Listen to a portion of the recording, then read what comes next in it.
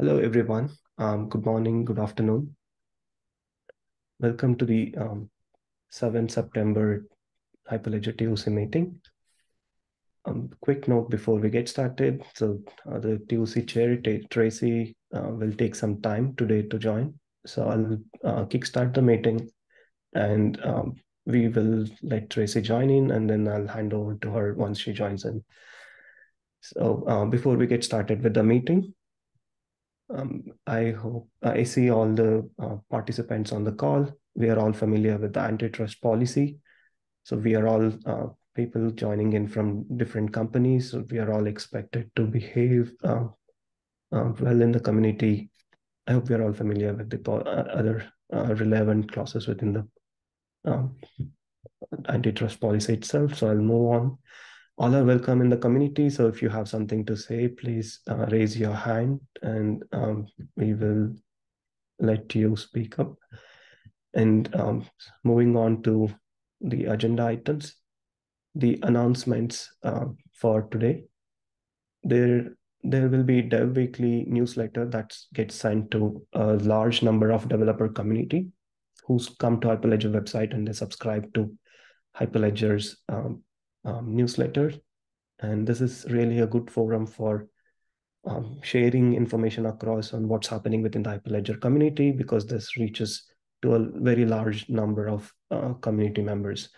So if you are a project maintainer or if you are planning to organize an event or if you have something related to project that you want to talk about or any anything in general, even if you have a blog article or a feature that you want to discuss about, all uh, that is needed is go to this link and add a comment saying that this is the information that I want everyone to know about. And that's it. That's how easy it would be. So, um, so the I'll, I'll cover um, this this next item. Sure, right. Um, this is basically a website update. Um, the we the governing board approved this policy on uh, April 2nd, uh, 2019.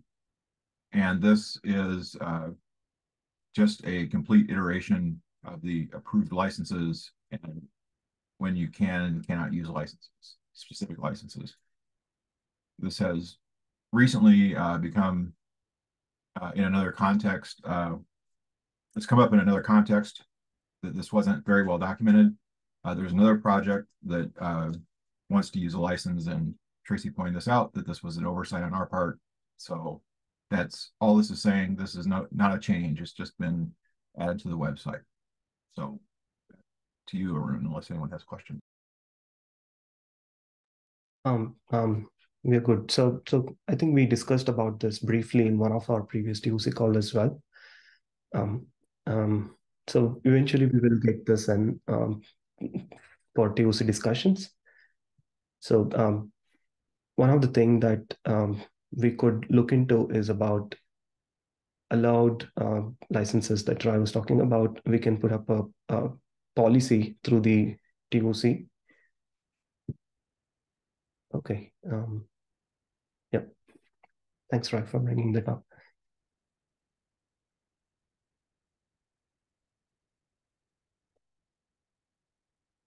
So was there a question there? Oh no, uh, I was about to cover the context for why this was being discussed. Okay. So, so yeah, good.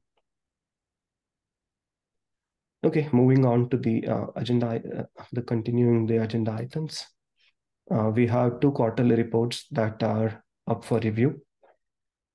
Um, Cello was raised about a week ago, and um, uh, sorry, Solang was raised about a week ago, and Cello is raised. It's in draft state. I don't see any um, comments as such for the Solang report. And um, I don't see any reviews happening on the Cello report. And um, yeah, if you have any questions that needs to be discussed from the report, please bring them up.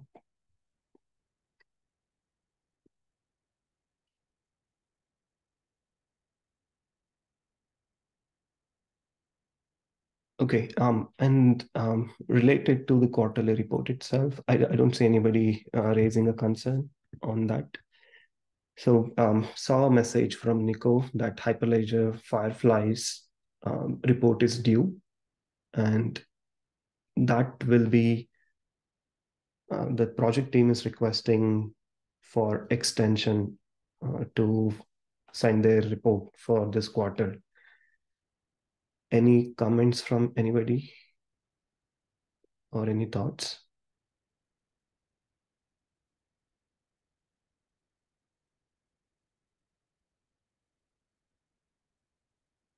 This is with respect to Firefly quarterly report.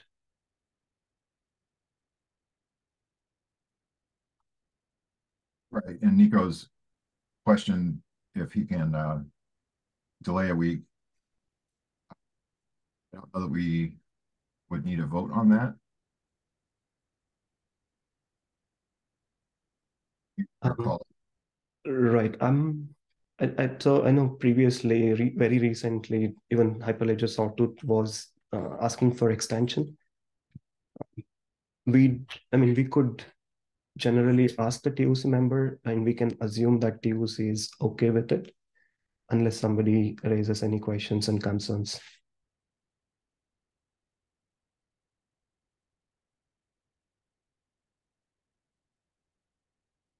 So um, again, one more call, like if you have any concerns or cons uh, comments for the Hyperledger Firefly, please raise it now.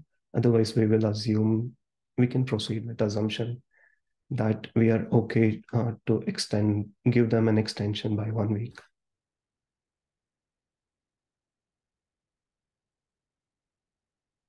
If you want anybody to verbalize their agreement, I do. I mean, a week is really not much, honestly. So Mhm. Um, that's reassuring. Uh, so, okay, so we will uh, assume. Um, I mean, we so based on this discussion, we have we will now proceed, assuming that Firefly team has been granted one more week to send a report in. So, um, moving on, I know Hyperledger Transact report was due, and um, I did reach out to the project team and ask them for the extension uh, um, um, if they want to the project itself uh, to st- to remain in the dormant state.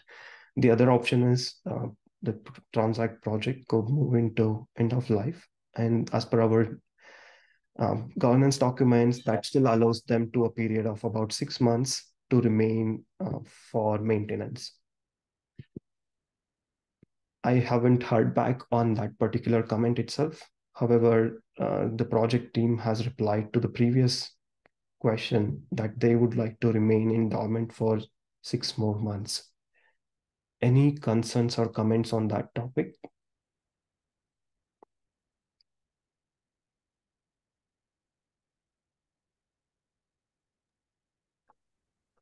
I think it's fine to leave it dormant for now. Thanks, Arnaud. I see. Doesn't really hurt anything. Thanks, Arnaud. Uh, Peter? if they don't already have the some sort of dormancy notification on the README, then I would recommend that they put it on.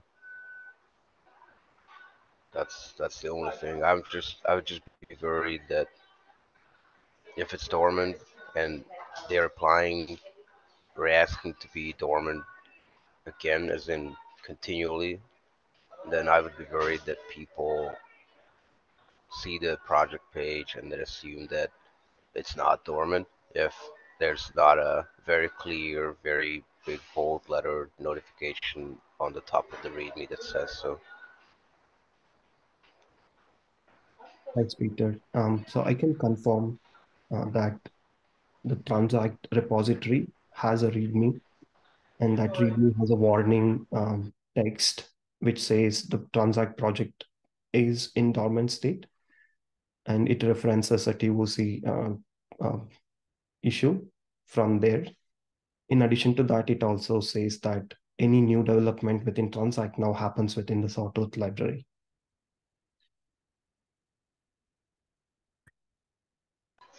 Yeah, that works for me. No other comment or concern. Thanks, Peter. Any other concerns? If not, um, thank you, everyone. Moving on to uh, the discussion items for today.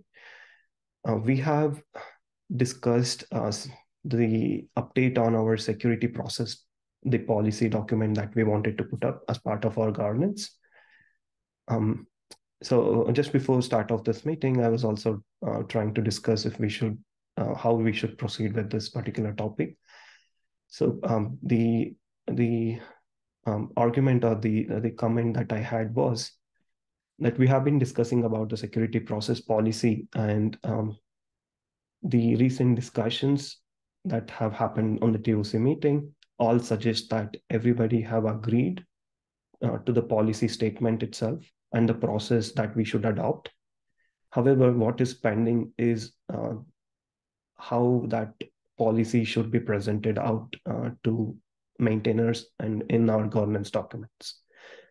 So um, uh, I understand um, uh, Stephen is occupied, but he has agreed to uh, put forward a PR for it.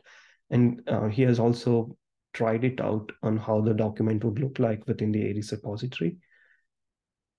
Um, so I was thinking that if we should vote on the policy or should we still wait for the uh, the, the exact text to be put out before we pick it up for voting.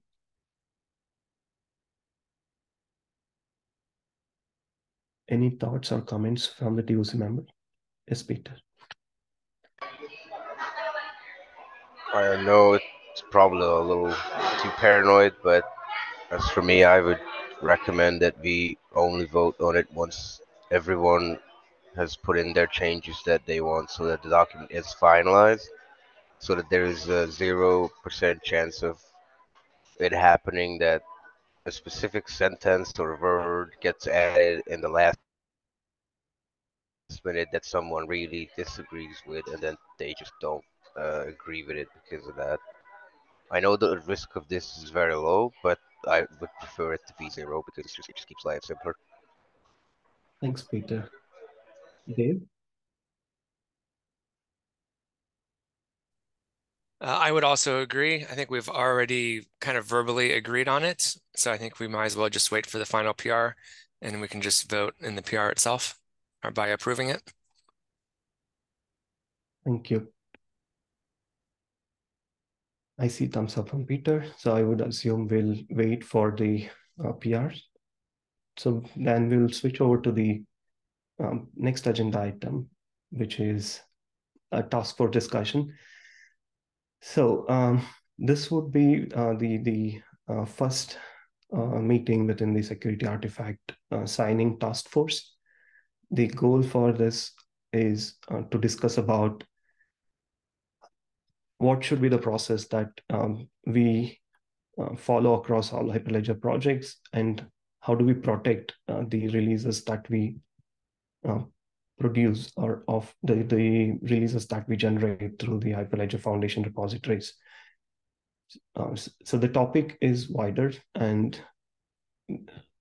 I'm I'm starting the task force um, like as I, I have few comments that I can get started with or I have few pointers that I can share uh, through my screen share and uh, we can then possibly take it up from there if uh, um, everyone is okay with that.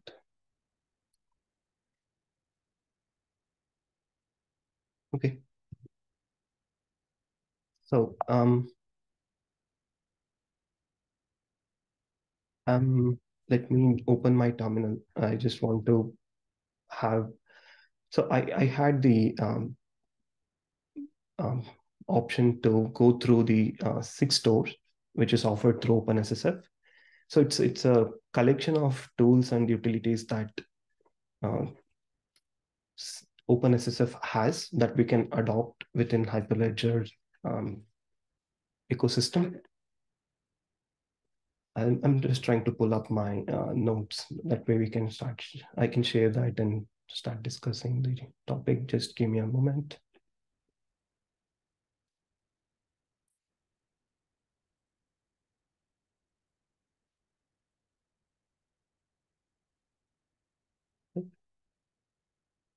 So this is it.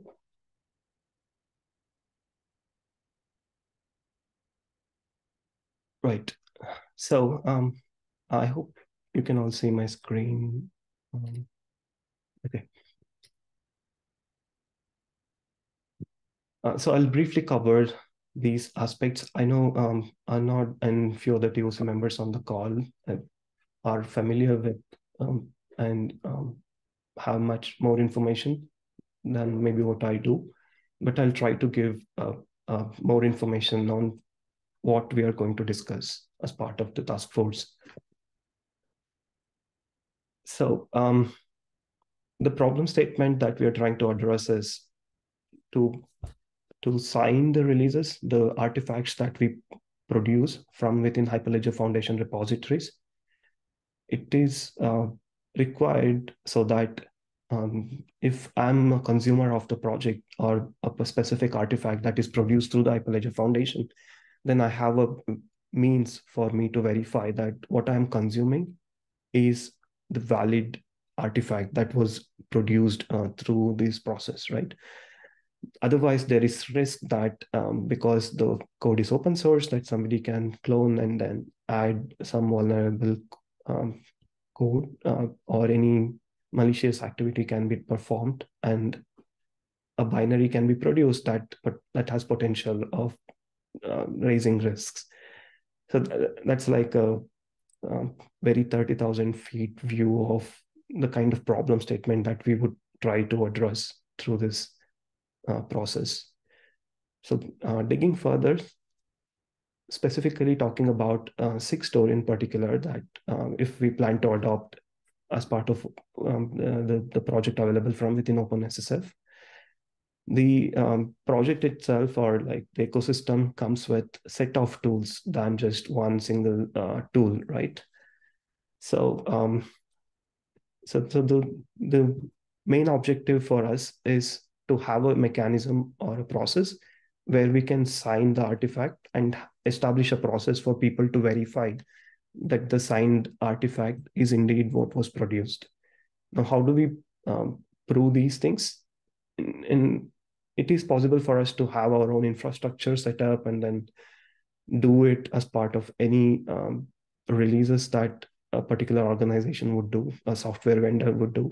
But is that needed for an open source project or like would there be any other options for us to follow? That's where this exploration goes on, right? So the OpenSSF Sigstore has uh, these components. One of that component is called Fulcio. I hope I'm pronouncing it right. Um, so this is a CA infrastructure that is available, um, um, or probably you can equal. It's an equivalent to a CA infrastructure. The objective of this particular component is to let um, users of this project go there, authenticate themselves, tell who they are, and let the Fulcio generate a temporary uh, um, certificate that is valid for a shorter period of time. And the key associated with that particular certificate can be, then be used uh, to perform the signing operation. Now, what's the advantage of this? Its advantages are in terms of the short-lived certificate that we just discussed, right? And also uh, the infrastructure itself provides a mechanism where we do not have to share or store the private key anywhere um, publicly. So typically, if we were to do signing operation without the um, without such an infrastructure, we would go and place our secrets somewhere within, let's say, uh, GitHub secrets, uh, store it there, pull it during the um, the GitHub action phase, and perform the signing operation, and and that leaves us with challenges of how do we manage the key, who owns it, and the, the uh, problem statement associated with that, right? So um, that's the um, that's the advantage that Fulcio brings in. Now, the other component that OpenSSF has um, within Sigstore is a component called cosign. Now, the cosign is um, you can consider that to be a client. It they do have a CLI, um, and they do have SDKs that we can utilize depending on our need and where we want to utilize it.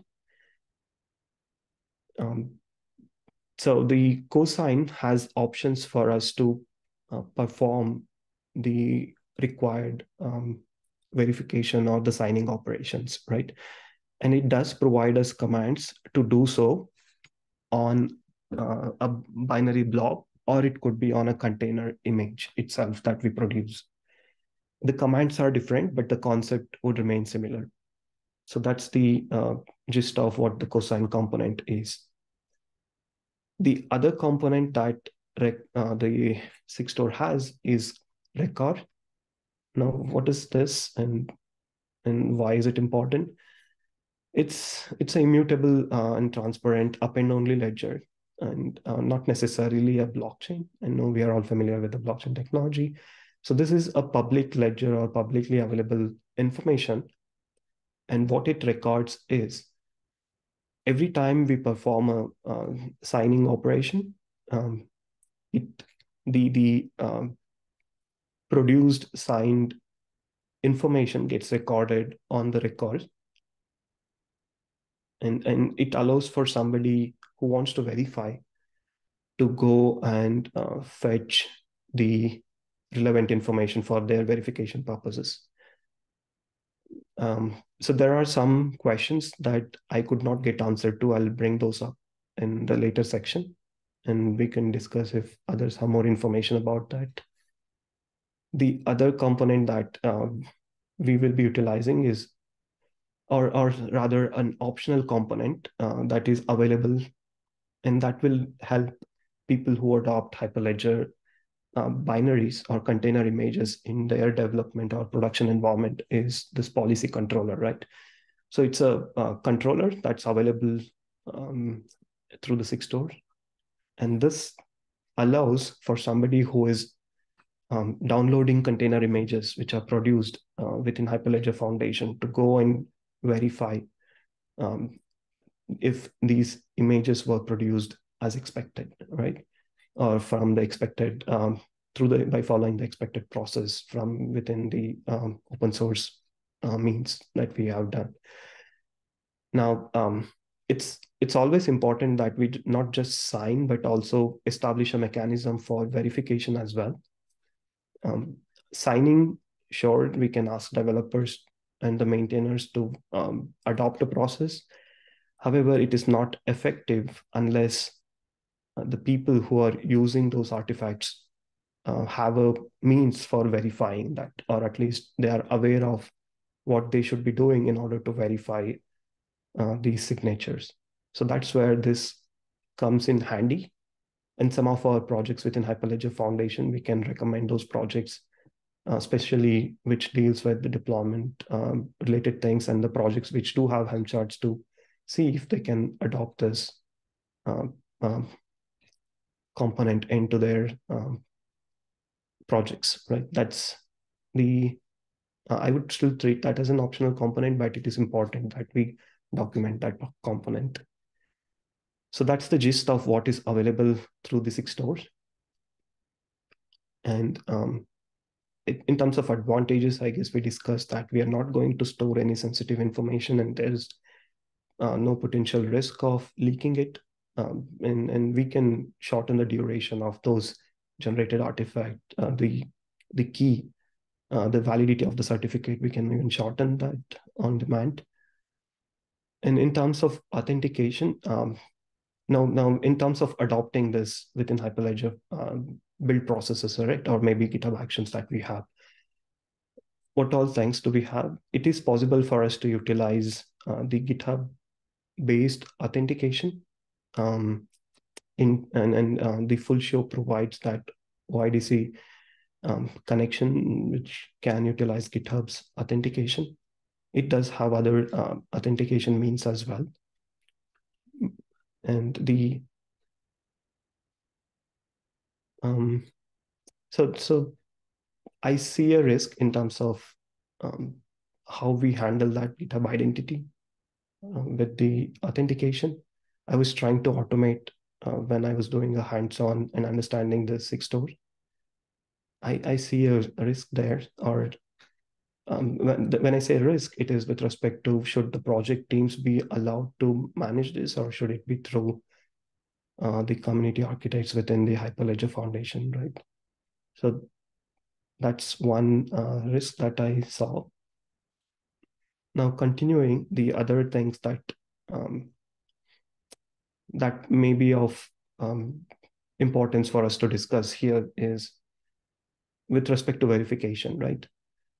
And I know I said Rekor is a public record, uh, which captures all the um, information that we can later audit. Now, um, just this, just thinking through what information would somebody need in order for them to verify um, the the um, the information which is present on Rekor or like verify their artifact against the information present in records. So um, this has, this led me, this particular question led me to two parts. One was with respect to container image itself. The other part was um, with respect to like blob uh, artifacts that we produce. Now, um, with respect to container image itself, I found that uh, during my experiment that um, the the signed uh, manifest that we produce it also captures information relevant for verification along with the container image, right? And um, it is possible for us to establish a, a means for verifying that. However, when it comes to like any other um, artifacts or blob that we produce.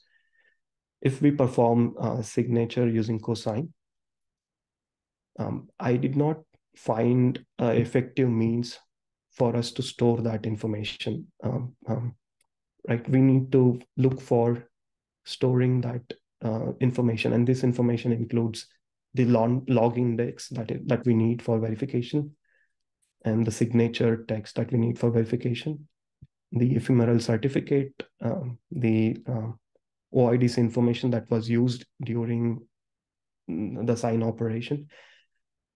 Um, so OpenSSF 6.0 does define a way to capture all of this or bundle all of this into common structure that we can store somewhere. But I did not find the effective means. I may be again wrong. Like if others are familiar, please do um, share that information. I did not find a mechanism to store this information for blob artifacts.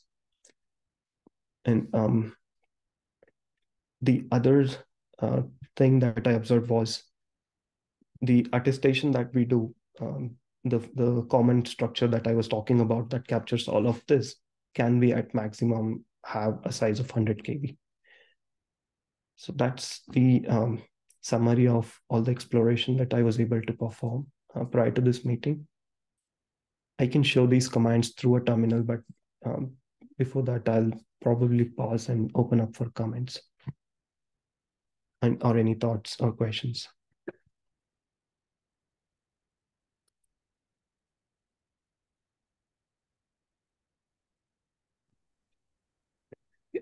Hey, um, oh, sorry, I need to read. I'm sorry, I, I'm sharing the screen, so it's difficult for me to see what's happening. I, I assume, Peter, you raised your hand first. Um, hello?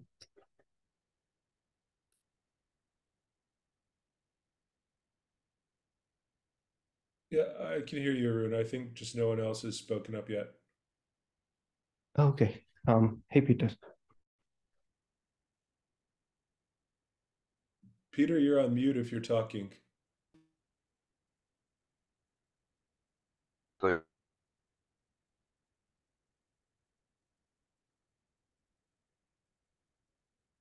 Peter, the floor is yours.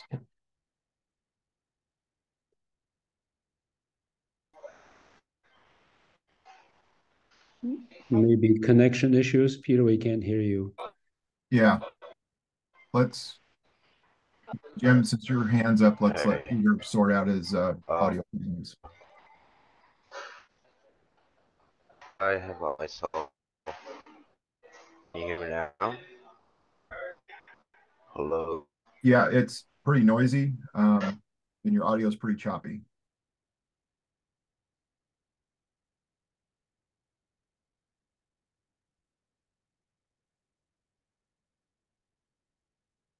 So Peter will come back. Um, we'll go with Jim and we'll come back to you uh, in a while. Sorry about that. Yeah, uh, thanks, Aaron. Um, uh, I'm not fully familiar with this suite of, of tools here. Uh, I guess my first question is uh, that short-lived certificate for code signing, um, is it a uh, prevalent practice for, for using short-lived certificates? I would imagine during verification, this will be a problem if your codes, you know, uh, the signature on your um, on your signed package is against a expired certificate. Um, so the short-lived certificate concept, uh, that's the uniqueness that we gain uh, when we follow the Sigstore project. Now the um, information need, uh, I mean, the verification purposes, right? So we would need that short-lived certificate and we would need to know that uh, that was the corresponding certificate uh, that the signing key was associated with at the verification time. And I understand like it gets expired because it's a short-lived. So the public record that we have in through the Rekor, that's the uh, proof that we have uh, to verify that this was a short-lived certificate that existed back um, when it was produced and it was signed. Um, so there is one publicly hosted instance of Rekor. There is also a possibility for somebody to host this um, outside of that public instance. So these are available both for deployment and, and running instance of Rekor. So just to uh, validate my understanding, uh, if if a customer uh, needs to validate a uh, signed binary or a Docker image, they first need to look at the certificate to verify the signature, and then they have to query the the ledger uh, to make sure it's properly registered there. It's at least a two-step thing, right? And they have to they have to build a custom uh, code in their pipeline. I assume most of them just look at uh, the signature against the certificate on the binary itself, but now they have to to make specific enhancements in their pipeline to make queries to this ledger? Um, so, I mean, that's right these tools that um, I spoke about, like the cosign tool, does have the capabilities for verification built into it. So if um, I, and the controller that I spoke about, policy controller that is available, that also has an option for uh, verification inbuilt within it. So uh, the, in terms of okay. adoption, that would be utilizing these tools uh, that we need to uh, look into into our pipelines. Okay. I, am trying to pull up the, sorry, go on. Uh, yeah, I guess the last question, hopefully a quick one. Is uh, Sigstore a sort of a uh, a standard or or popular toolkit? How is it adopted currently? I am unaware of the adoption aspect, um, but it it is getting popular as I speak um, defense is hard. I think you're the right person. Yeah, I was going to say, uh, Jim, it's popular and becoming more popular. Like the CNCF uses Sigstore, for instance. Uh, several other large Linux Foundation projects uh, use Sigstore. Um, artifact signing is rapidly becoming a security requirement, uh, and Sigstore seems to be the choice for open source projects.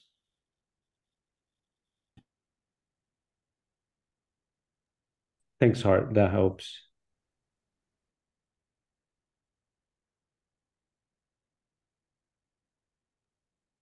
Sorry, I uh, couldn't find my mute button. Um, this is Sigstore is uh, becoming more widely adopted within LF. I mean, that's the plan of record for LF Um, so it's not a mandate, but more and more LF projects are, are depending on it. Anyway, Marcus, I see your hands up. Uh, yeah, thank you. So one question, I mean, as, as, as you say, right, that, I mean, Hyperledger is using Sigstore, uh, but uh, are those uh, Linux Foundation projects then using this public instance of Sigstore or in particular Rekor uh, as a backend? And I believe um, this instance is provided by, by Google at the moment. And I mean, I, I find the Sigstore project pretty sexy, I must uh, admit, despite the fact that, yeah, it uh, it applies ledger technology, which is uh, not distributed in terms of trust.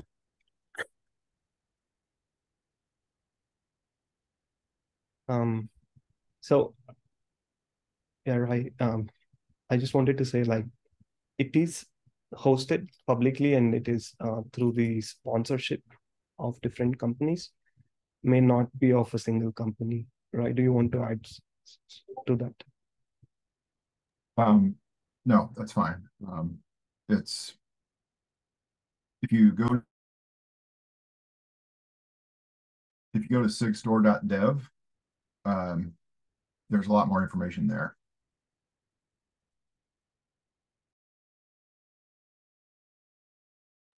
But would it make sense that uh, the Linux Foundation also runs uh, a Rekor uh, service then? I'm just guessing here. I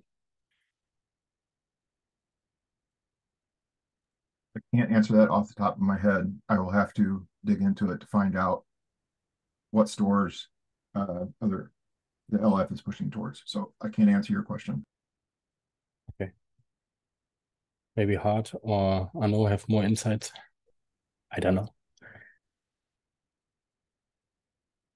Uh, well, I would say it makes sense, but that doesn't necessarily mean it will happen. okay, um, so Marcus, maybe we'll take that as an open question that we can check back and come back in the later calls. Thanks for that. Uh, Peter, I see you next. Can you hear me now? Is Yes. it better?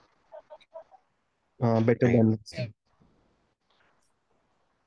So I'm looking into this.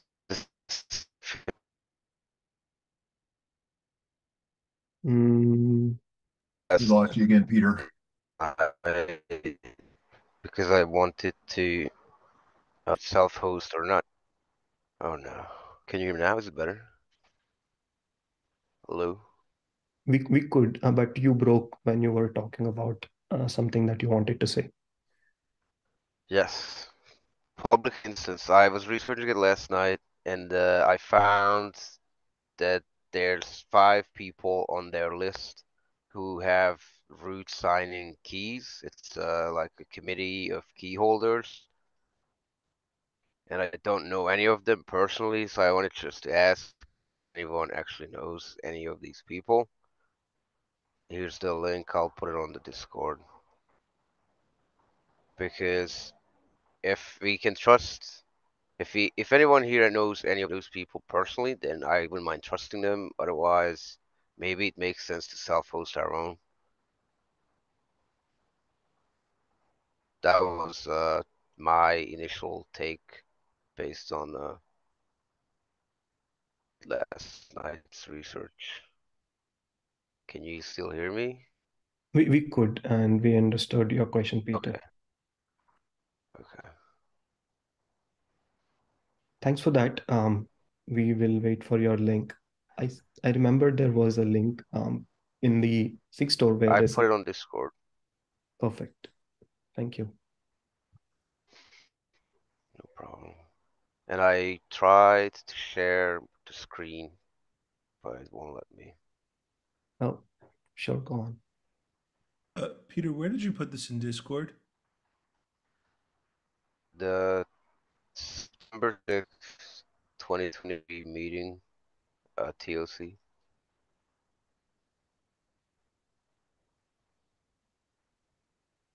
Uh, we still don't see that, Peter. Maybe it's the connectivity issue. Could be. Um, Yeah, and if you can, you can try to share your screen. I don't know if it happens Can you see the screen?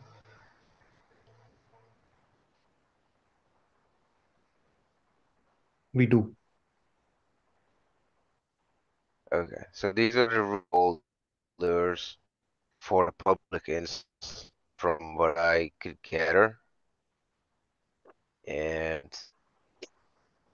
ideally, for an instance that we use, I prefer to know at least one of the people on the list personally, because otherwise, for all I know, these people could be completely fictional. So I can uh, Maybe tell you, I. I know the, Yeah. I know personally the first three people on that list. They are not fictional. They are Oh, real people. Awesome. Okay, that's good enough for me. So then, based on that, I think we could use the public instance that's available. So one thing I wanted to add is, I mean, um, all, there has been discussions because Sigstore is part of OpenSSF, and there's been discussions about whether OpenSSF should take over the running of the instance that they've been maintaining. I think Marcus is right. It's funded by Google today. Uh, I don't know if it will happen or not. Uh, there's there's there's no active discussion on that point that I know of, but uh, it has been brought up before. Uh, the other thing I wanted to say is, you know, the way to think of Sigstore, this is kind of their one-liner, is the motivation for Sigstore in the first place was in a way that's similar to Let's Encrypt, which allowed to anybody to to to to have keys so that they could use HTTPS and make HTTPS prevalent. Um, they said we wanted to make a system that allowed signing artifacts in a similar way, cheaply, I mean, freely, really, and, and simply. So that's kind of where they come from.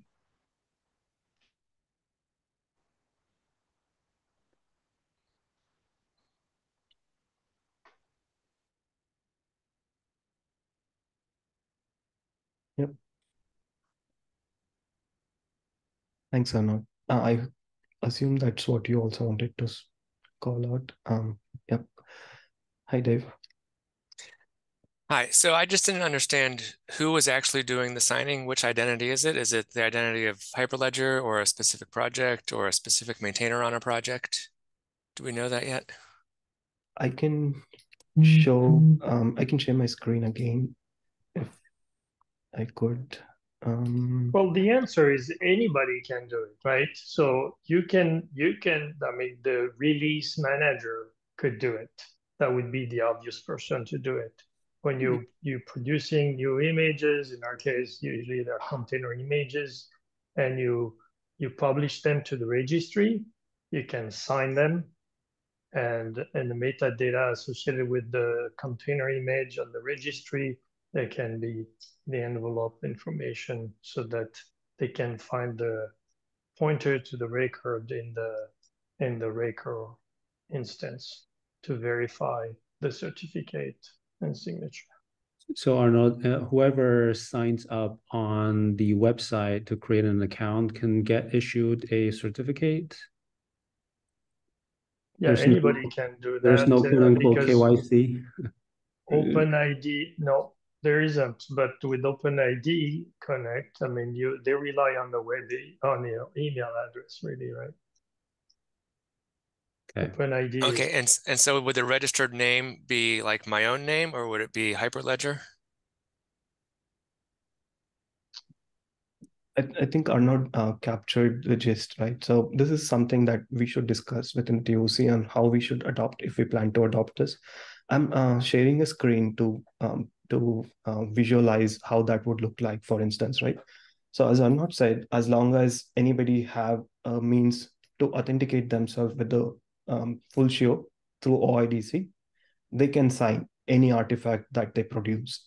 And we all we need to do is probably just um, import this cosign into our pipeline and add the sign command instead of uh, uh, you know I'm showing the verify here, but uh, that would be like sign command, and then use this identity and I authenticate with this uh, Fulcio, and I sign it right. So now the Rekor has the log entry. For somebody who wants to verify, they would need to supply uh, the identity which they trust and the signature that they're planning to verify with the OIDC um, uh, issuers that they um, want to verify this identity against.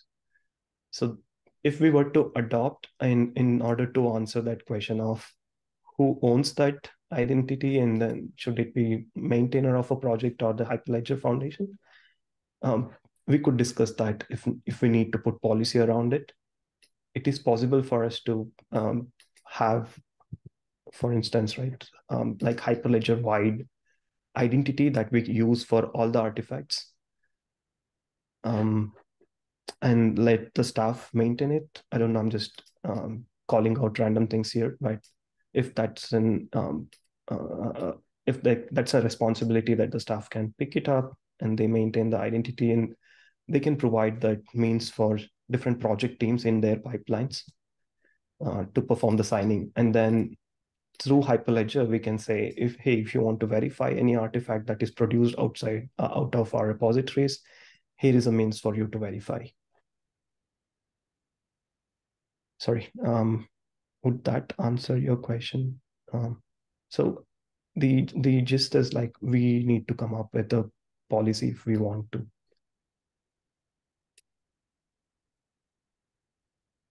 Could we use the hyperledger bot uh, account that exists to do these signatures? Um, or some similar sort of account that would basically be a Hyperledger GitHub organization wide um, key that we we store, and then the GitHub Actions could use that. Yes. Um, I mean, Hyperledger Bot already owns a bunch of the publication stuff. So the answer is, I mean, could it be done? Yes. Do I think it should be done? Uh, probably. Um, I don't think there's any more, since that account is already publishing a bunch of our artifacts. Um, I don't think there's any additional risk from having those artifacts signed by that account, but everyone on the call is uh, free to disagree.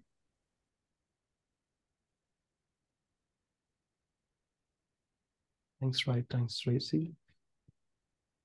Peter? I agree that it would be, wait, can you hear me? Yes. Okay, sorry. I agree that it would be much more convenient for me as well if it was uh, a staff maintained key and identity and the bot did it all.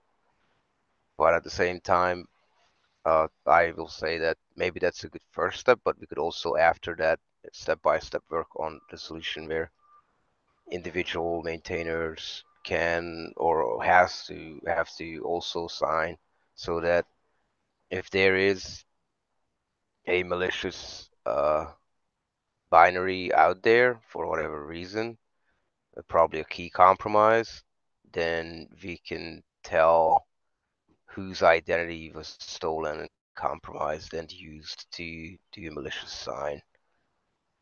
Uh, but uh, that's just uh, that's uh that's the least convenient way of doing it, and so I agree that just to take one step at a time, we could probably just get going with the common staff maintained keys and identities. So I, I have not looked into this at all. Um, but I imagine it would be fairly trivial to have, uh, much like we have per repo secrets. I imagine it would be fairly easy to have per repo or per project keys. Um, so if one of them was compromised, it wouldn't compromise the entire stack. Um, I don't know the answer to that, so I'm just going to imagine that that's true, and I, I promise you I will look into it. Thanks, Ry. I have comments, but I'll go with Hart first. Yeah. yeah, that should definitely be possible. And we would want to do per project keys anyway, right? I I think so, per project or, or perhaps even per repo. Yeah, Um, even per sub project. I mean, we we could let the pro. My uh, my thought on this was that we let the projects decide how exactly they want to structure their own. Um, because obviously, like Aries is going to work a little differently than Fabric.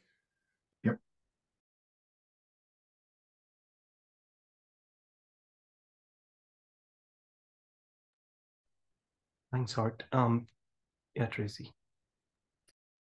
Well, we do need some sort of consistency for people who are using Hyperledger packages to be able to verify them, correct?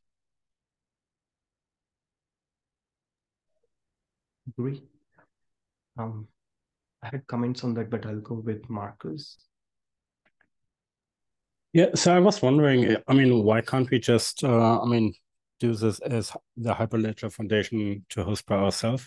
I mean, we could, for instance, have a repository where we basically publish the public key, uh, public uh, signing keys for each individual project, and then, I mean, just sign our artifacts and uh, basically tell the people, hey, in order to validate this artifact, go to this official Hyperledger repository on GitHub and uh, use the information to validate um, the, the artifact you just downloaded. So, um, in broad strokes, I agree. Um, one difficulty there, one difficulty there is um, ownership. Of, when I say ownership, I mean uh, GitHub people in GitHub that have the owner role is a fluid set of people um, because all LFIT staff can self-assign themselves, can assign themselves ownership of any repo. Um, we could have another, we can talk through that, but the the list of people who have the ability to do stuff uh, to repos uh, owned by Hyperledger uh, is unknown, and all we can do if something happens is look at the audit log uh, and see who did it. So I, uh, you know, that's the only downside to that I can think of. Uh, Marcus? Well, I'm also not sure if this is a better idea, to, uh, I mean, a better approach uh, in contrast to Sigstore, but I'm just trying to put this here on the table and discuss if this is, uh, uh, let's say, a good homegrown alternative. Um, I mean, and, and the, the point you raised that maybe, I mean, Hyperledger stuff would be able to manipulate uh, the the data or the the GitHub um, history of that uh, repository. Well, I mean, if there's a, way to audit this, that's fine. I mean, the same thing you do then with Rekor anyway, right? Well, I, I'm talking on the org level, not the repo level. Um, so let me share my screen here quickly. Uh, so right now, uh, here is the audit log. So this is something that, unless I think you would have to delete the org uh, to clean or edit the audit log. Uh, so this is the the organization audit log. When it comes to who can do what to a repo, um, that's the, the the you know that's the part that I was on about. Uh, if we look at so this is the current list of people that are org owners. Um, so, you know, it's, it, this is a fluid list. You know, when it comes to the, the audit log, this is, you know, less fluid. This is something that GitHub, uh, you know, controls. But I guess the same issue we would have if Hyperledger would run their own Sigstore instance, right? So someone, some Hyperledger staff will get access to this instance and control it through some way. I don't know, I guess. Sure.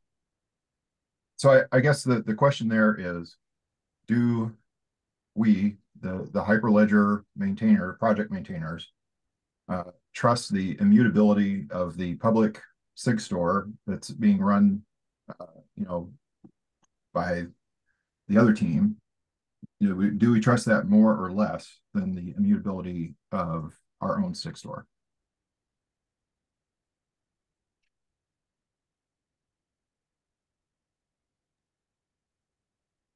Thanks, Ry. Thanks, Marcus. Um?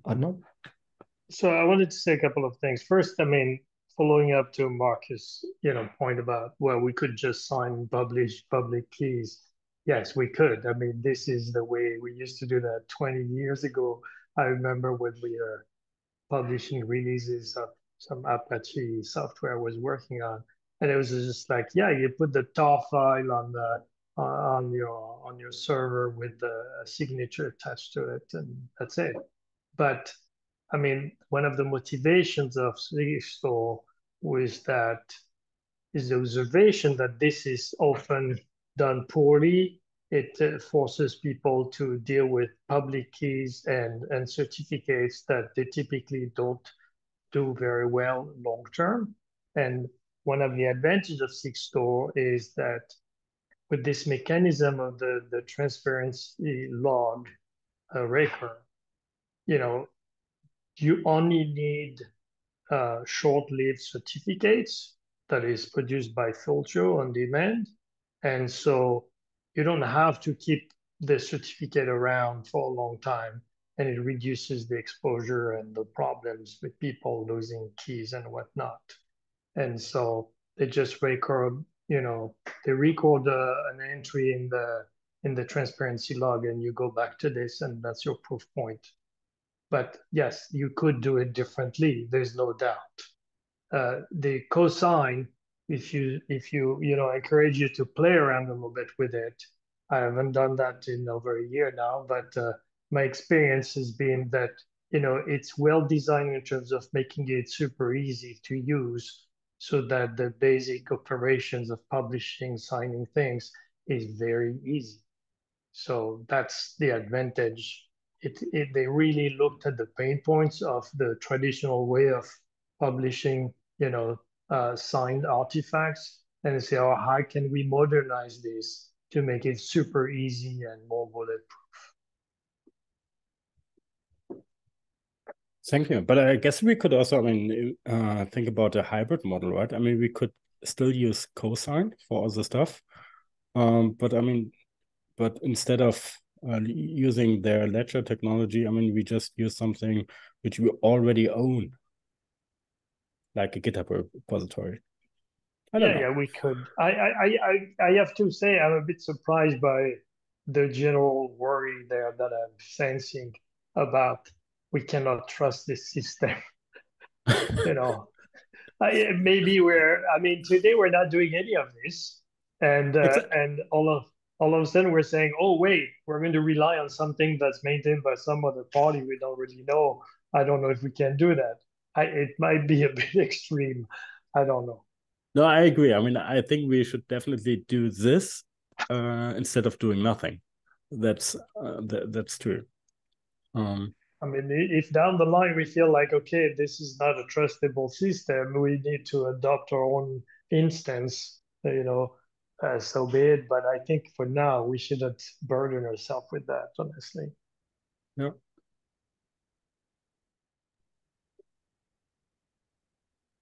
Thanks, Marcus. Thanks, Anand. I did have comments, but I these see it's already 10 1. Um, it's so we are we we are at the summit of this meeting unless if anybody has any other questions, we will continue these discussions in our upcoming um, task force meetings.